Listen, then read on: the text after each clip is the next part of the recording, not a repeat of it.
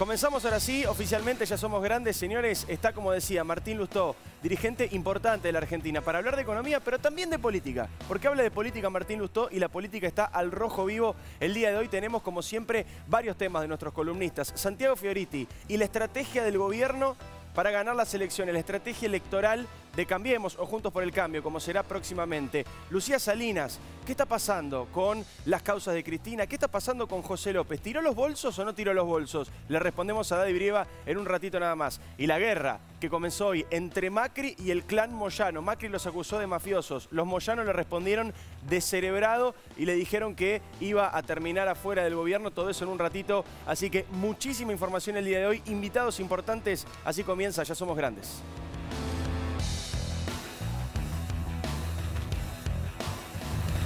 Despegar cambió para darte nuevas experiencias. Descubrilo, despegar, vivir viajando.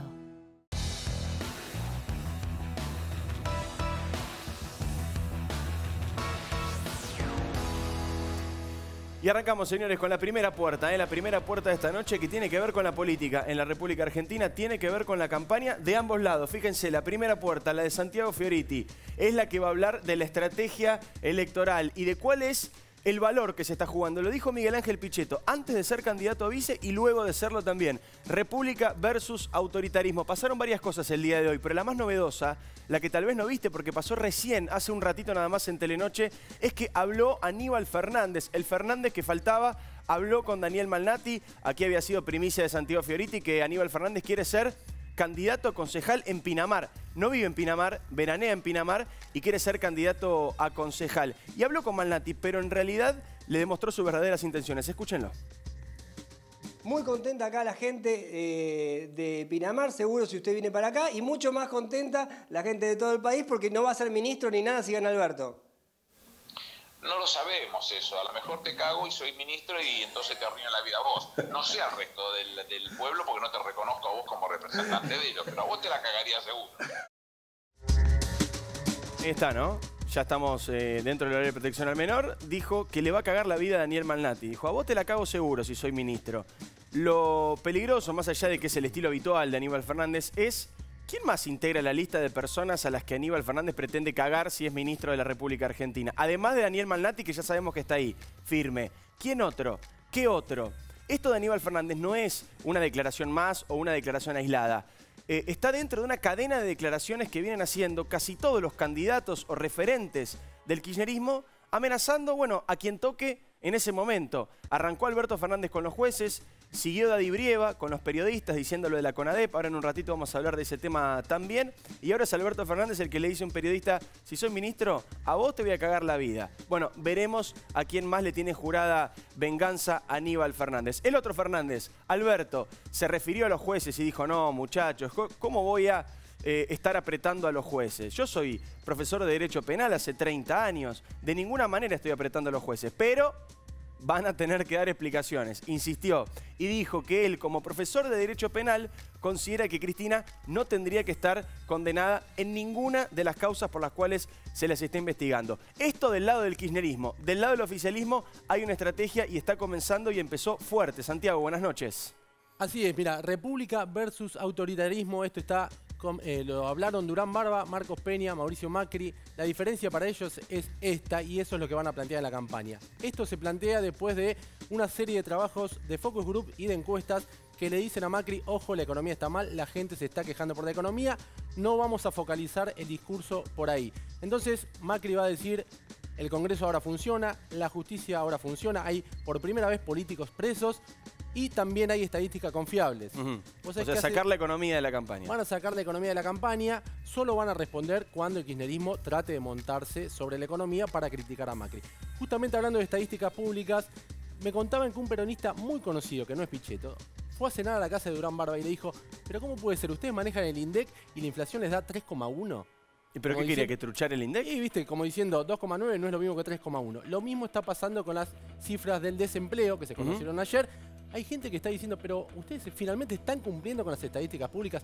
Macri cree que esa y otras cuestiones relacionadas a la transparencia le pueden dar votos y por eso hoy la estrategia pasa por dejar de lado la economía, república versus autoritarismo. De esto va a hablar Martín Lustó en un rato, ¿eh? de la parte económica y de la parte política también, porque es candidato en estas elecciones. Vamos a preguntarle. La semana pasada estuvo Horacio Rodríguez Larreta acá y Fioriti le dijo, ¿va a ir eh, de candidato Lustó? Y aseguramos, distraído, nosotros sí. dijimos, va a ir de candidato. Acá está ya como candidato Martín Lustó. En un rato hablamos con él. Hay un búnker del PRO, que es el, el nuevo espacio donde se tiene que desenvolver Pichetto, que ya cambió la pilcha, Pichetto, ¿viste? Bueno, ya está ya más está vestido moldando. al estilo Cambiemos. De hecho, se sacó la corbata en la primera foto que hizo con el grupo de peronistas de Cambiemos, que ya no se llamaba Cambiemos, sino Juntos por el Cambio.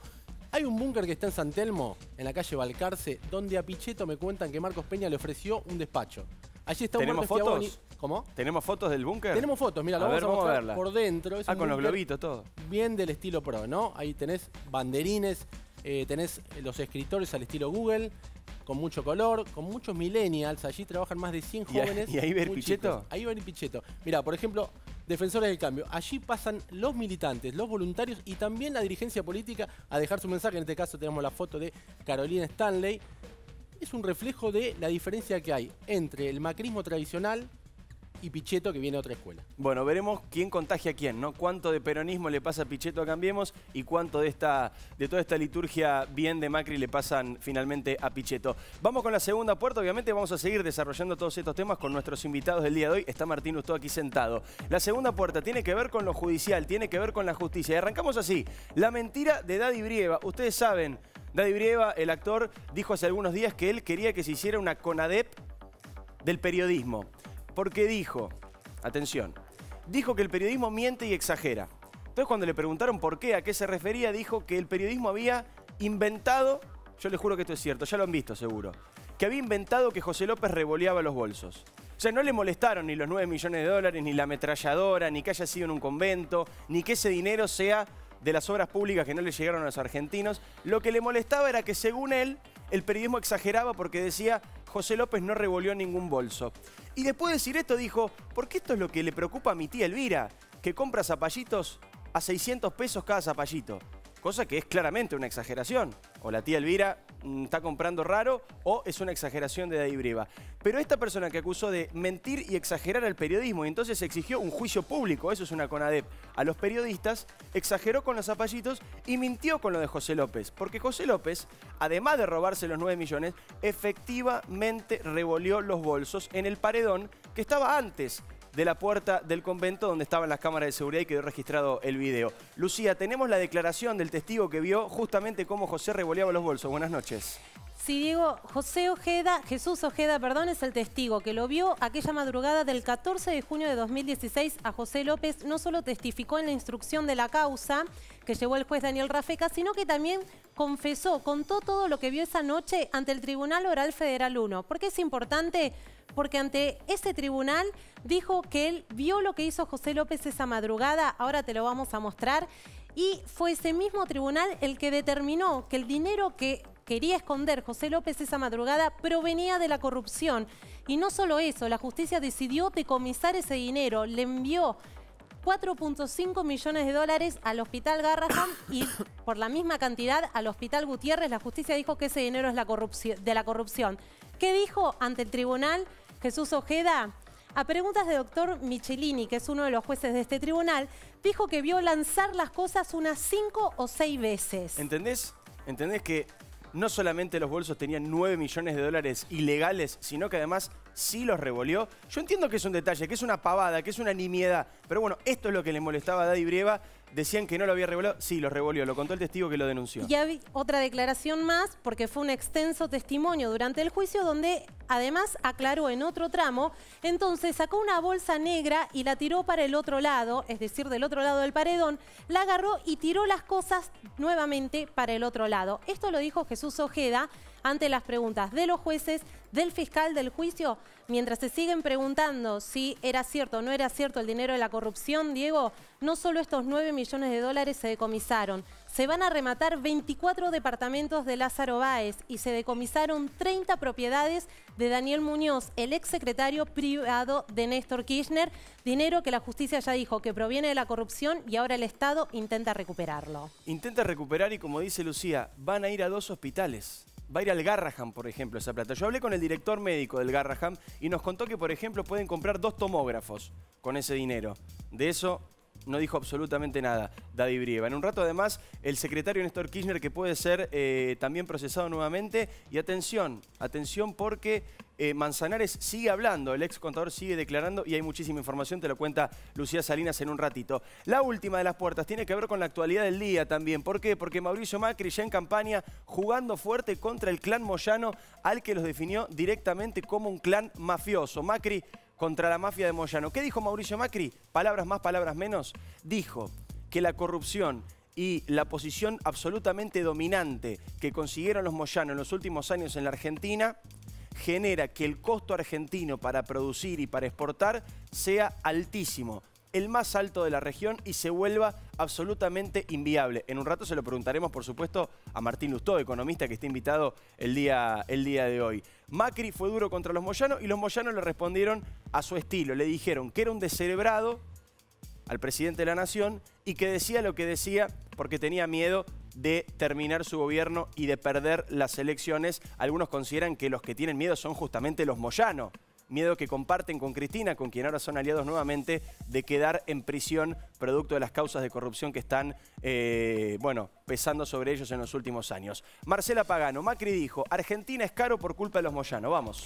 Bueno, en principio eh, tiene este gobierno quizás a uno de los especialistas más importantes del estudio de cadena de valor, es decir, cómo se componen los precios. Y es Dante Sica, ni más ni menos que el ministro de Producción y Empleo. Hay varios estudios que manejan desde el Ministerio de Transporte y también desde el Ministerio de Producción. Uno de ellos no lo elabora el gobierno, sino la Universidad Tecnológica Nacional, la UTN, que analiza la variación del costo de logística en Argentina. En 12 meses el costo de logística en nuestro país subió 66%. Para que te des una idea, son nueve puntos básicos más que el resto del índice de precios general, que la inflación general, es decir, costos desmedidos que vienen inflándose. Ahora bien, eso es por el lado de los números, pero hay actitudes de este gremio que vienen inflando los precios por lo que el gobierno dice es una actitud de mafia. ¿De qué te voy a hablar ahora? De una de las actitudes que se han detectado y que están buscando algún empresario que en definitiva se anime a, denunciarlo. ¿De qué vamos a hablar ahora? De algo que eh, muchos años se estuvo analizando cómo erradicar y que este gobierno de alguna manera dijo, señores empresarios, esto que le están pidiendo los gremios no es algo que sea obligatorio. Estamos hablando de em, un libre deuda sindical. Es una suerte de documentación. Es una suerte de documentación que los gremios, el gremio de Moyano, expide y se lo da a las empresas de logística. Te lo voy a explicar muy fácil. Supongamos que yo soy supermercadista y quiero acceder a productos que me provee, por ejemplo, una empresa que fabrica fideos. Necesitas a los camioneros. necesita sí. o sí de una empresa de logística que pueda acarrear los fideos, los paquetes de fideo, hasta la góndola. Esa empresa, para poder ser contratada, los gremios el gremio le expide este certificado. Ahora bien, ¿qué pasa si la empresa dice, si no tiene el certificado la contrato igual? Les bloquean las plantas. Y a las empresas de logística no las dejan eh, trabajar. ¿Y por qué les dan o a cambio de qué les dan este certificado? Por ejemplo, como sucedió el año pasado, del bono de fin de año, que todas las empresas lo dieron, incluso cuando muchas decían, pero no tenemos... Esta maniobra extorsiva, en definitiva, vos decís, bueno, es problema de los empresarios. No es problema de los empresarios, porque sabes que esto, que es un costo que las empresas acceden a pagar para poder trabajar y no tener pérdidas, significa luego que se encarece el costo de logística, que lo pagan los consumidores. Por eso es que Mauricio Macri hoy, con este tema que se está investigando, y me consta que en el Ministerio de Trabajo y también en el Ministerio de Transporte están buscando algún empresario o algún arrepentido, ¿eh?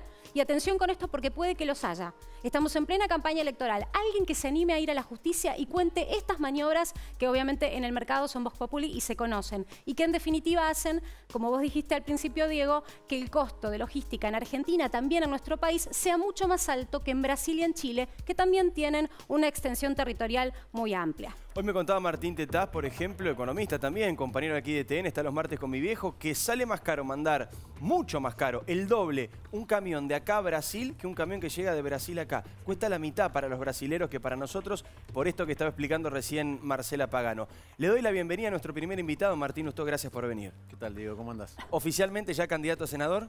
Oficialmente candidato a senador y me acompaña Guadalupe Taglaferri. Muy bien, vamos a hablar de política, ¿eh? de Obviamente. muchas cosas, de mucho de lo que está pasando, pero quiero arrancar con esto. Martín, vos explicás muy bien el tema del costo argentino, el costo del Estado. ¿Es cierto lo que dijo Macri hoy? ¿La mafia de algunos sindicatos hace que Argentina sea más cara?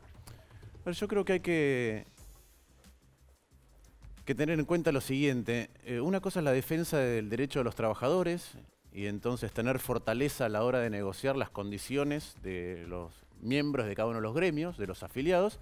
Y otra cosa es us- usar un poder acumulado y extorsivo que lo que hace es impactar en el resto de la sociedad. Pensamos, por ejemplo, que nosotros tenemos uno de los supermercados más caros del mundo. Yo viví en Washington y llenar el changuito de supermercado una de las ciudades más caras de uno de los países más ricos del mundo es más barato que en Argentina. Claro. Viajo a Madrid y pasa lo mismo. Y cuando empezás a desglosar eso, hay un montón de factores, pero uno sin ninguna duda es el costo logístico de la Argentina. Entonces, una cosa que vos defiendas lícitamente el bienestar de tus afiliados y otra cosa es que trates de bloquear, por ejemplo, que en Argentina, que produce a granel, exista un tren con capacidad de Claro. competir con el camión. La que- destrucción del sistema de trenes tiene que ver con el gran poder de, de- Moyano. de impedir todo otro tipo de competencia. Y esto se replica en un montón de lugares. ¿En qué otros lugares? Eh, Pensá, no sé, en La Rioja el kilo de tomate te lo pagan tres pesos. Cuesta tres veces eso cuando lo vas a comprar a la verdulería. Uno de los factores que tiene incidencia es el transporte. Pero pensá en otro rubro. Pensá, por ejemplo, en las expensas. Uno de los costos más altos de las expensas, obviamente, es el salario de los encargados de edificio. Y está muy bien que exista un gremio que defienda los intereses de los afiliados. Pero por otro lado, no hay una discusión igualitaria. Yo digo, ¿quién es el representante de los inquilinos, No hay. de los propietarios? Lo que hay es no los inquilinos, los propietarios, sino lo que hay son asociaciones que se supone que representan a los consorcios, que en realidad están digitadas desde el otro lado. Entonces, la cuenta de expensas también termina estando ampliada, eh, eh, exagerada, porque no hay una verdadera igualdad. Entonces, hay ciertos poderes en algunos gremios que se han ido mucho más allá de la cuenta. ¿En qué te das cuenta? En la acumulación económica, a veces, de esos sindicalistas o del conglomerado económico que representan. Sí, A mí tienen me- medios, bueno, hospitales. a mí me tiene que explicar alguien por qué es bueno para sus afiliados que tengan medios. ¿No? ¿Por qué tienen canales La de obra televisión? social sí, pero está bien la vinculación con las clínicas. Todo lo que sea para sus afiliados está bien. Todo el resto de los poderes que acumulan, inclusive clubes de fútbol, etcétera, me parece que claramente no tienen que ver con un servicio a los afiliados. Y te da una demostración cabal de que la capacidad de acumular poder para después ejercerlo para cosas que van más allá de los lícitos intereses de sus afiliados son distintos. Eh, te quiero preguntar de política, después vamos a ir yendo y viniendo de la economía porque están tan entrelazadas en la Argentina, la política, la economía, ya casi que es todo lo mismo. Pero te quiero preguntar por la fórmula presidencial del espacio por el cual vos sos candidato. Mauricio Macri, presidente, Miguel Ángel Pichetto, candidato a vice. ¿Qué te parece la fórmula? Pero yo debo haber sido, no sé si el primero, pero uno de los primeros que insistió con que eh, la coalición de gobierno se tenía que ampliar. Se tenía que ampliar por necesidades muy concretas, que es que la verdad es que Argentina, si vos mirás la historia, yo acabo de publicar un libro con estas cuestiones, vos mirás la, la historia argentina, no es solamente el último gobierno, el anterior, el anterior, sino que sinceramente a la Argentina le cuesta crecer a lo que cuesta, crece el resto del mundo. Vos mirás el último medio siglo, Argentina es el segundo país que menos creció, el segundo país que menos creció, y crece menos que la mitad del mundo. Menos, Menos que la mitad del mundo. Wow. Entonces es evidente que hay un problema, es evidente que hay que abordarlo con un diagnóstico más rico, y es evidente que hay que, una vez que uno tiene ese diagnóstico más, ri- más rico, que son discusiones internas, debates internos, rigurosidad a la hora de abordar qué es lo que está ocurriendo, pero también necesitas mayor capacidad para actuar sobre la realidad. Si querés dar respuesta definitiva a algunas cosas. Yo lo he dicho en un viaje presidencial, que no había que tener miedo a las pasos, que Es para mí era una forma de ampliar, de convocar a otros. Di nombre y apellido cuando dije hay que traer peronistas que tienen sentido republicano. Muchos me dijeron, no, eso es imposible. ¿Te parece que Pichetto tiene sentido Y ahora, republicano? sí, y ahora me parece que hay una fórmula que lo que te muestra es una. No solamente que el gobierno dice sí hay que ampliar, sino que se podía y yo creo que puede seguir esa ampliación. Quizá no siga durante la época de las candidaturas, porque falta muy poco, pero seguramente seguirá después a la hora Pero de discúlpame, convocar. Martín, ¿esto se hace por convicción? ¿Macri lo hace por convicción, vos que hablas con él? ¿O lo hace porque no le queda otra, porque la economía va mal y porque las elecciones están en riesgo? Mira, es evidente que no es la convicción original del gobierno, ya lo hemos hablado muchas veces. Cuando yo lo planteaba, la respuesta del gobierno era que no. De hecho, a mí me han negado internas en la Ciudad de Buenos Aires, me han negado la conformación de este espacio que finalmente se plasma en la Ciudad de Buenos Aires. Eso no quitó que siguiéramos trabajando, marcando diferencias y en algunos casos acordando con algunas de las cosas del gobierno de Horacio Rodríguez Larreta. Pero es evidente que no fue la primera, eh, el primer impulso que tuvo el gobierno. Las conversaciones que yo tuve con el presidente, muchas de las cuales en un momento fueron noticia, porque fueron eh, repetidas, parece que el presidente empezó a enriquecer su diagnóstico, a mirar en otros lugares, a ver que efectivamente o la realidad fue subestimada o las capacidades propias de del espacio en sí fueron sobreestimadas. Y me parece que lo que está haciendo es convocando. Mi caso es otro caso. ¿A vos te parece que Macri va a tener en cuenta este nuevo esquema con dirigentes peronistas y en el caso tuyo para hacer un nuevo gobierno en el caso de que sea reelecto? ¿O es solo una estrategia de campaña? No, a mí me parece que cuando vos incorporás gente con peso político propio, eh, ya sea porque tienen votos, ya sea porque tienen capacidad de articular con otros sectores, inclusive si no querés, se modifica la dinámica de dentro de un grupo.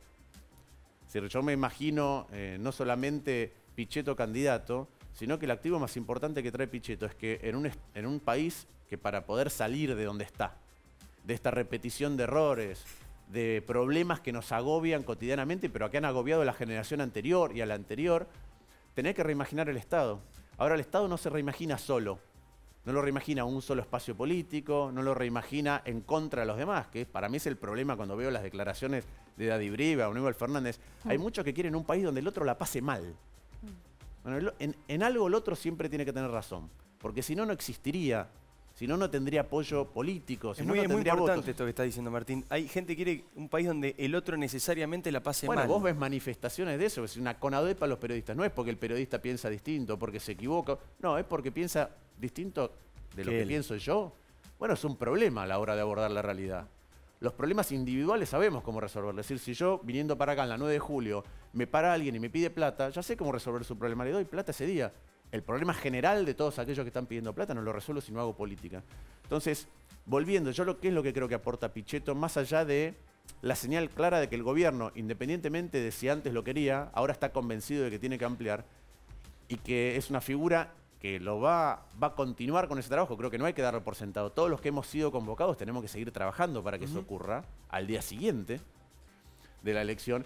Pero Pichetto en esto de reimaginar el Estado, vos- vos te tenés que imaginar y pensar, bueno, ¿con quiénes yo puedo negociar con los que piensan distinto? ¿Quiénes saben del trámite parlamentario de las cuestiones? ¿Quiénes saben lo que le importa a otro?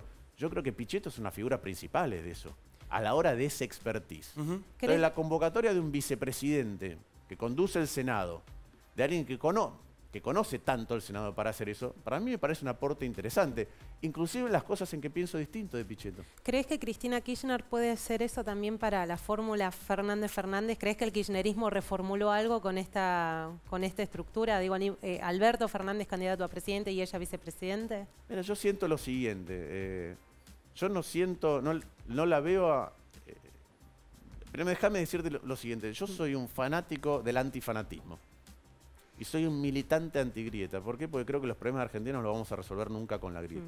Entonces la grieta vos la podés, si querés, simbolizar como una estructura que colapsa y quedarnos de un lado, otros del otro, pero también como dos postes que tienen atados elásticos. Y vos decidís si tensás para afuera o para adentro los elásticos. Yo creo que tenemos que hacer el esfuerzo de tensar hacia adentro y, y anudar para poder tener diálogos que sean fructíferos. Yo cuando veo que la expresidenta cede lugares, creo que pasó cuando dijo no voy a ser candidata a presidenta, una gran parte de la sociedad que no piensa como la expresidenta sintió un poco de alivio. Ahora después vos ves las declaraciones de un montón que están alrededor, o la foto de Cunio con Máximo Kirchner, o las propias declaraciones de Aníbal Fernández, o las de Daddy Brieva, o las de un personaje, un jurista que desde el punto de vista eh, de su capacidad intelectual y formación, y ha sido profesor de profesores como Zaffaroni, uno puede reconocerle eso, pero que las cosas que dice no me parecen que sean la muestra cabal de que se está repensando cómo se trata al otro. Entonces yo veo esas señales y todavía no he visto eso en la expresidenta o en muchos de los que la rodean. Por otro lado, Sobre todo, perdón, un puntito de esto que decís que adhiero. Nadie sale a desmentir. Nadie sale a decir, che, es una barbaridad lo que está diciendo este señor. Nadie. y- pero y nadie no, sale. y no solo eso. Yo he escrito cinco libros. La verdad que escribir libros es una tarea, no la generación de ideas, la generación de ideas es siempre colectiva, es siempre colectiva. Vos reformulás las propias, las perfeccionás, aprendés del otro, siempre es colectiva. Pero escribir es una tarea solitaria.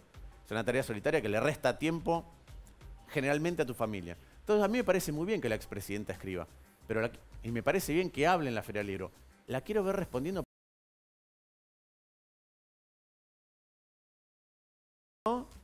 Y yo leí el libro, me tomé el trabajo de leer el libro. Parece que está bajando una verdad revelada. Eh, había quedado pendiente la pregunta de Marcela Pagano eh, sobre Lilita Carrió. Repetila y responde Alfonso Pradacán, Si es, nuestro invitado. si es Elisa Carrió, el único nexo que tenés hoy actualmente con gente del Frente Juntos por el Cambio. No, no, no. Bueno, por supuesto, con, con Lilita tengo una relación de muchos años, este, como ustedes saben. Empecé la política con ella, eh, pero además tengo muy buena relación con, con todo el radicalismo, con los gobernadores y con los dirigentes del radicalismo. Eh, y tengo buena relación con algunos este, dirigentes importantes del PRO, que mejor no, no nombrarlos para, para no entrar en líos, pero sí, por supuesto, tengo diálogo con muchos. Lucía había quedado también pendiente una tuya. Eh, mañana viernes es tu turno en la justicia, no porque estés investigado, sino porque vas a declarar en él en un juicio contra Ricardo Echegaray. ¿Te sorprendió verlo a Ricardo Echegaray en esas circunstancias en un juicio por corrupción, bueno, en este caso por violación del secreto fiscal, en, enfrente a otro juicio con Cristóbal López? ¿Te sorprende la figura de Ricardo Echegaray en estas circunstancias? A mí personalmente no me sorprende, me satisface, porque es una lucha que yo vengo dando desde que él me acusó falsamente. Sí. eh, Ujú. Y aprovecho Claro, para... vos fuiste víctima de Sí. Sí. Yo no lo estoy acusando por violación de Mm. Fiscal, lo estoy acusando porque inventó una denuncia para perseguirme. Y utilizó la estructura de la FIP para y utilizó eso. la estructura para eso y me parece que es muy importante que en algún momento alguien trace una línea, no solamente para que Echegaray eh, rinda cuentas ante la justicia, sino también para que el día de mañana no haya un Echegaray que pueda instigar delitos forzando a los funcionarios que están abajo. Y por eso yo denuncié no solamente a Echegaray, sino también a Curien y Robeda, que fueron los que firmaron la denuncia. Que el día de mañana este caso sirva para que cuando a un funcionario de la FIP o del Banco Central o de donde sea viene el poder político y le dice, che, torcé la investigación en esta dirección, el tipo tenga más elementos para decir, no, no corresponde y además que no corresponde de jurisprudencia a mi favor para ser independiente y para no usar el aparato del Estado para atacar al que piensa diferente. ¿Qué te pasa al respecto cuando lo escuchás a Alberto Fernández, hablando de los jueces que tienen que rendir cuenta de las decisiones que toman? En este caso podría llegar incluso a incluir al juez que decidió mandar esta causa a juicio oral, que es lo que se está sustanciando hoy. Bueno, cuando lo escucho a Alberto Fernández diciendo eso, digo, bueno, esto es kirchnerismo puro, ¿no? Por más que el lobo se ponga la piel de cordero, hay lugares donde eh, eso no lo puede esconder.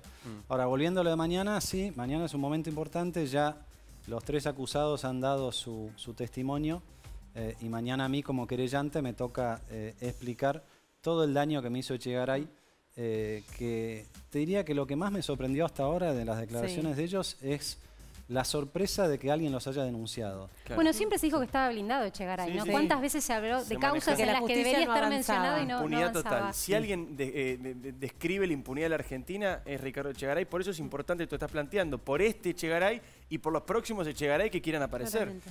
Y la otra cosa es, a ver, no quiero, no quiero darme corte acá, pero una cosa es denunciarlo hoy a Echegaray, que ya tiene. Claro. Y otra cosa En era denunciarlo momento. cuando él tenía todos los resortes para seguir persiguiéndome, ¿no? Me tengo que ir al corte, pero no quiero dejar de preguntarte por la fórmula Fernández-Fernández. ¿Qué te genera? Bueno, lo que me genera es que Cristina se dio cuenta que encabezándola no llegaba. eh, y, y me parece que hay que respetar esa decisión política de Cristina. Yo no, no me pongo del otro lado y digo Alberto Fernández es peor candidato. Yo lo que digo es, Cristina entendió que no llegaba y por lo tanto dio una señal de apertura y con esa señal de apertura logró cooptarlo a masa. ¿no? Así como decíamos antes de la parte económica, no subestimemos el problema, eh, creo que lo mismo se aplica a la cuestión política. ¿no? Y entonces es bastante obvio que vamos a una elección muy polarizada, pero con eh, Cristina Kirchner dando algunos gestos de apertura que hasta ahora parecía que no los íbamos a tener. Y yo creo que si no hubiera sido por eso, no lo teníamos a Pichetto en la fórmula presidencial. ¿Tenés definido tu voto ya en las elecciones? Sí, claro, yo voy a votar por. Yo voto en Capital o voy a votar la lista completa de. ¿Cómo nos llamamos ahora? Juntos por Juntos el por el cambio. Juntos por el cambio. Gracias, Alfonso, eh, por, Gracias por a haber venido al programa. Señores, importante, en un ratito nada más. Nos queda poquito programa, pero atención. Manzanares sigue hablando, no para de hablar. Antes no quería hablar, ahora no lo pueden callar. El contador de la familia de los Kirchner y la reunión. ¿Entre quién? Entre Carrió y La cena, Pichetto. la cena. ¿Una cena? Una cena. Quédate, Dos horas. ¿Quién pagó? En un ratito te contamos todo. Quédate, quédate, quédate.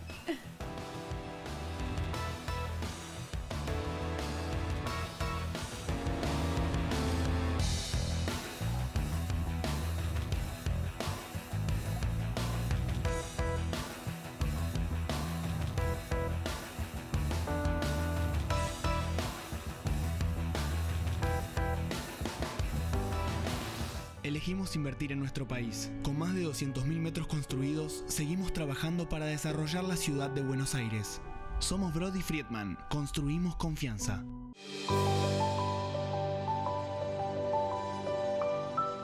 La TAM y vos, juntos, más lejos.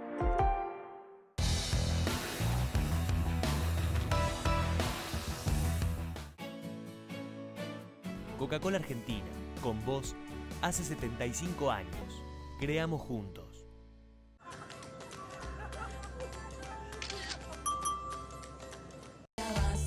Hacela bien.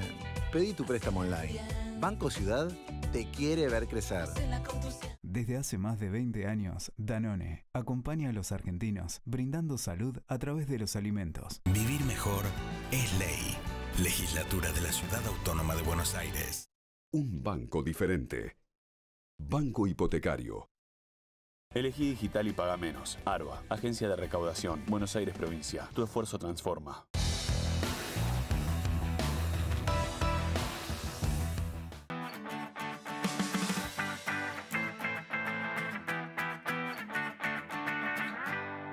Grupo Insud. Alentamos la vida. www.grupoinsud.com Grupo Petersen, desde 1920, construyendo el país. En Provincia ART, nuestra meta es protegerlas de todos. Ingresa en provinciaart.com.ar o llamanos al 0800-333-1278. Provincia ART, con el respaldo de Grupo Provincia.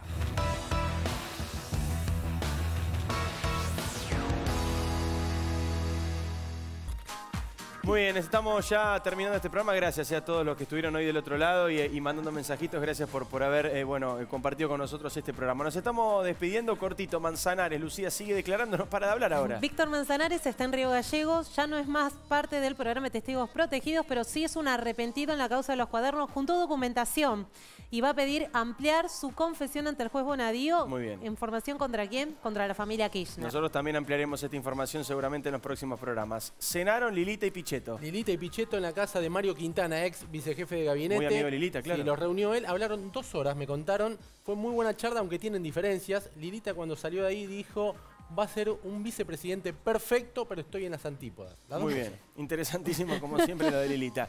Se quedan del otro lado, gracias eh, por haber estado con nosotros, gracias FunTV por nominarnos una vez más, premios importantísimos y que quiero mucho, que me tocó conducir varias veces. Gracias Fubisabor, tranquilo, Candala. Gracias Fubisabor por la comida para el equipo. Se quedan en la rosca, eh, con Vandercoy, con Fernández Canedo, con De León, con todo el equipo, porque va a estar Juan Manuel Urtubey. Y nosotros nos encontramos el jueves que viene. Chau. Yeah, if I could spread it out